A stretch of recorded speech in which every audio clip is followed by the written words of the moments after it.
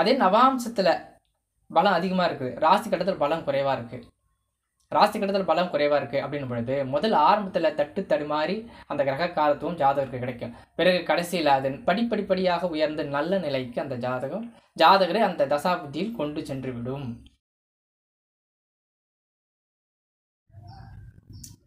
அன்பார்ந்த ஜோதிட மாணவர்களே யூடியூப் நேயர்களே அன்பு வணக்கம். இது astro Tamil S N Ganapathi channel நான் உங்கள் ஜோதிஷ வித்யாபதி எஸ் என் கணபதி இந்த பதிவில் நாம் பார்க்க போவது ராசி கட்டத்தில் பலமாக இருக்கும் ஒரு கிரகம். நவாம்சத்தில் பலம் குறைந்திருந்தால் அதை வைத்து எப்படி பலன் சொல்வது பலன் எடுப்பது என்பது பற்றி நமது யூடியூப் நேயர் மற்றும் வாட்ஸ்அப் வழியாக ஜோதிடம் படிக்கும் ஒரு நேயர் நம்ம யூடியூப் நேயராகவும் இருக்கிறார். அவர் கீழே கமெண்ட்ஸ் கொடுத்துருந்தாங்க. அதற்கான பதிலை இப்பொழுது நாம் பார்க்கலாம்.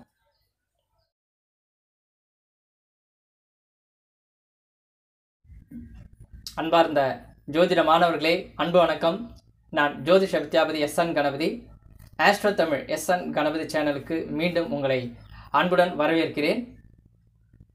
இந்த பதிவில் நாம் பார்க்க போவது நம்மிடம் வாட்ஸ்அப் வழியாக ஜோதிடம் படிக்கும் ஒரு மாணவர் ஒரு கேள்வி கேட்டிருந்தாங்க. வாட்ஸ்அப் வழியாக கேட்டிருந்தார்கள்.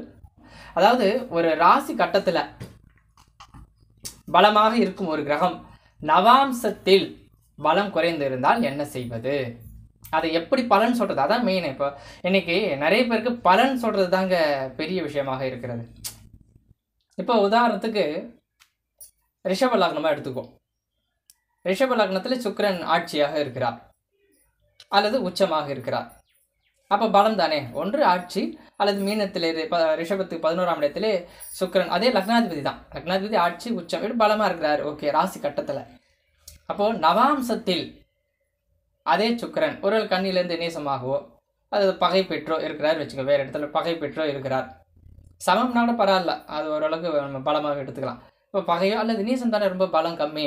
இந்த மாதிரி நீசமாக இருக்கிற நவாம்சத்தில் அப்படின்னும் பொழுது இதை எப்படி பலன் எடுத்துக்கலாம் அப்படின்னா இப்போ இங்கே வந்து ரிஷப லக்னத்துக்கு லக்னாதிபதியாக சுக்கரன் வராரு. லக்னாதிபதி முதல்ல உச்ச உச்சமான பலனையும் பிறகு நீசமான பலனையும் தருவார். இதுதான் விஷயமே. மறுபடியும் உங்களுக்கு அந்த இன்னும் சில விதிமுறைகள் சொன்னால் உங்களுக்கு புரிஞ்சிடும் அதாவது இப்போ ரிஷப லக்னம் ஒரு இருபது வயது அல்லது இருபது வயது ஒருத்தருக்கு ஆகுது அப்படின்னு எடுத்துக்கங்களேன். இப்போ இருபது வயதுல ஒருத்தர் சுக்கிரதசா ஆரம்பம். சுக்கரதசா ஆரம்பிக்குது இருபது. அப்போது அவர் சுக்கரதசாவுடைய மொத்த வருடங்கள் மொத்தம் இருபது வருஷம். அப்போ இருபது வயதுக்கு ஆரம்பித்து நாற்பது வயது வரைக்கும் சுக்கரதசா நடக்கும். அப்போது அந்த சுக்கரதசாவில் ஆரம்பத்தில் மொத்தம் இருபது வருஷங்கள ஆரம்பத்தில் சுயதசாபத்தி எப்போவுமே அந்த நல்ல பலனை தராது. எந்த ஒரு புதிய முயற்சியை செய்யக்கூடாது ஏற்கனவே நிறைய முறை சொல்லியிருக்கிறேன். அதை நோட் பண்ணிக்கோங்க. அதுக்கு அடுத்தது வரக்கூடிய தசா புத்திகள் அந்த புத்திகள் மற்றும் அந்த தசை மற்றும் புத்திகளில். சுக்கரன் எந்த மாதிரி பலனை தருவாருன்னா முதலில் ஆரம்பத்தில் சுக்கரன் அந்த உச்சமான பலனை கொடுத்துருவார். முதல்ல அந்த உச்சமான பலனை அழகாக கொடுத்துட்டு அதற்கு பிறகு நவாம்சத்திற்கு அநேசமான பலனை கொடுத்து விடுவார். இதை நம்முடைய நிறைய ஜாதகங்களை ஆய்வு செய்யும் பொழுது இது நமக்கு புரிதலாக கிடைச்சது. உதாரணம் இதே சுக்கிரனே ஒரு வேளை பத்தாம் அதிபதியாக வராருன்னு வச்சுங்க வேறு லக்னமாக இருந்து பத்தாம் அதிபதியாக வராருங்க. இப்போ சிம்மத்துக்கு பத்தாம் அதிபதியாக வருவார். அது சுக்கரன். இப்போ அவர் வந்து உச்சமாக இருக்கிறார். நவாம்சல் நீச்சமாக இருக்கிறார் அப்படின்னும் பொழுது இப்போ ஜாதகர் தொழில் நன்றாக ஆரம்பிப்பார். நல்ல சிறப்பாக வரும். போக போக போக பார்த்தீங்கன்னா வலிமை குறைந்து கொண்டே சென்றுவிடும். இதை அப்படியே திருப்பி போடுங்களேன். ராசி கட்டத்தில் நீசமாக இருக்கிறாருன்னு வச்சுக்கோங்க உதாரணத்துக்கு. இதே சுக்கிரன் இதே சிம்ம லக்னமாக இருந்து நீச்சமாக இருக்கிறார். ராசி கட்டத்தில் பத்தாம் அதிபதி. நவாம்சத்தில் உச்சமாக இருக்கிறார் அப்படின்னும் பொழுது ஆரம்பத்தில் எப்படியும் முட்டி மோதி ஏதோ ஒரு தொழில் இன்னொருத்தர்கிட்ட உத்தியோகமாக போவார் வேலை செஞ்சு அதில் நல்லா கற்றுக்கிட்டு அப்புறம் அந்த விஷயத்துலேருந்து அதை நல்லா சிறப்பாகி பிறகு முதலீடு போட்டு முதலாளி ஆகி பிறகு பார்த்தீங்கன்னா டாப்பில் ஃபஸ்ட்டில் வந்துடுவார் சிறப்பாக வந்து விடுவார். அப்போ ஆரம்பத்தில் கொஞ்சம் அதிக உழைப்பையும் கடைசியில் ஒரு நல்ல நிலையையும் அந்த தொழில் விஷயத்தில் ஜாதகருக்கு கொடுக்கும்.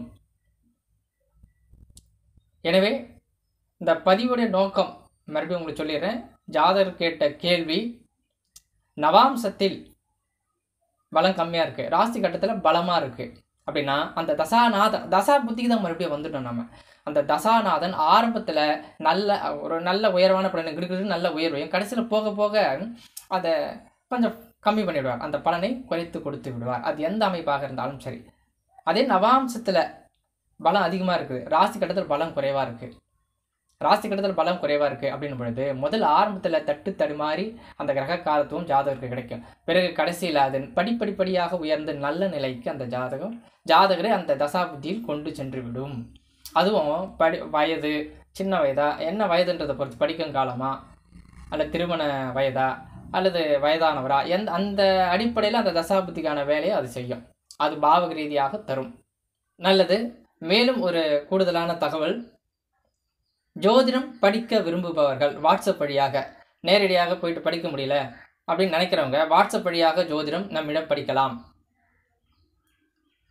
அடிப்படை மூன்று மாதம் உயர்நிலை மூன்று மாதம் முதுநிலை அது வந்து பிரசன்னம் வரும். மூன்று மாதம் நடத்தப்படும். அடிப்படைன்றது பார்த்தீங்கன்னா வாக்கியப்படி ஜாதகம் கணிப்பது இந்த வாரம் திதி நட்சத்திரம் யோகம் கரணம் இதை பற்றி கொடுப்பது நவாம்சம் சாரம் பார்க்கும் முறை தசா புத்தி எப்படி கணிப்பது? இதெல்லாம் நம்ம அங்கே அதில் சொல்லித்தருவோம் பொதுவான ஜாதக பலன் பன்னீர் பாவகதிபதியில் மற்ற பாவத்தில் அமர்ந்த பலன் மற்ற பாவகதிபதி பன்னீர் பாவத்தில் அமர்ந்த பலன் இது மாதிரியான தகவல் எல்லாம் அந்த அடிப்படையிலே வரும் உங்களுக்கு. அதே போல் ஆட்சி உச்சம் நீசம் நட்பு சமம் பகை பரிவர்த்தனை வர்க்கோதம் நீசபங்கம் கிரக யுத்தம் இந்த மாதிரியான அடிப்படை விஷயங்களில் திக்பலம் இந்த மாதிரி அடிப்படை விஷயங்கள் எல்லாம் அந்த அடிப்படையிலே வந்துவிடும். எதுவுமே இன்னும் ஜோதிடத்தை பற்றி எதுவுமே தெரியாது. அப்படின்னு நினைப்பவர்கள் இதில் அந்த படத்தில் பாடத்திலே இணைந்து கொள்ளலாம். உயர்நிலை பாடன்றது முழுக்க முழுக்க அடிப்படையெல்லாம் நல்லா தெரியுதுங்க. நிறைய விதிமுறைகள்லாம் நல்லா தெரியுது. பலன் சொல்ல வரலன்னு நினைக்கிறவங்களுக்கு தான் அந்த உயர்நிலை. உயர்நிலைன்னா முழுக்க முழுக்க பலன் சொல்லும் முறை தான். ஒரு ஜாதகத்தை எடுத்தால் பன்னீர் பாவத்தை எப்படி ஆய்வு செய்கிறது ஒரு திருமணத்துக்கு வந்திருக்கிறாங்க. அவருக்கு எப்பொழுது திருமணம் நடக்கும்னு எப்படி எதை வைத்து சொல்லுவது என்பதை பற்றியெல்லாம் அங்கே ரொம்ப தெளிவாக சொல்லி ஒரு குழந்தை பற்றி கேட்குறாங்க குழந்தை பற்றி எப்படி சொல்வது? ஒரு தொழில் சு உத்தியோகமாக சுய தொழிலாக இதை பற்றி எப்படி பார்ப்பது? திருமண காலத்தை எப்படி நிர்ணயிப்பது? இவருக்கு திருமணம் நிச்சயம் நடக்குமா நடக்காதா? திருமண அமைப்பு எப்படி இருக்குது எந்த மாதிரியான ராசி லக்கணத்தை சேர்க்கலாம்? இந்த மாதிரி விஷயமெல்லாம் உங்களுக்கு அந்த உயர்நிலை பாடத்தில் சொல்லித் தரப்படும். தசா புத்தி வைத்து எப்படி பலன் சொல்வது என்பது ரொம்ப தெளிவாக அதில் சொல்லி கொடுத்துருக்குறேன். எல்லாருமே தொடர்ந்து பயிற்சியை மேற்கொண்டு வருகிறார்கள். நிறைய நூற்றுக்கும் மேற்பட்ட மாணவர்கள் நம்மிடம் வாட்ஸ்அப் வழியாக படித்துக் கொண்டிருக்கிறார்கள் என்பது உங்களுக்கு தகவலாக இங்கே சொல்லிக் கொள்கிறேன். நீங்களும் இணைந்து கொள்ளலாம். உங்களுக்கு பாடங்கள் வந்து தனிப்பட்ட முறையிலே அனுப்பப்படும். குரூப்பு கிடையாது. தனித்தனியாக தான் உங்களுக்கு தனியாக வந்துவிடும்.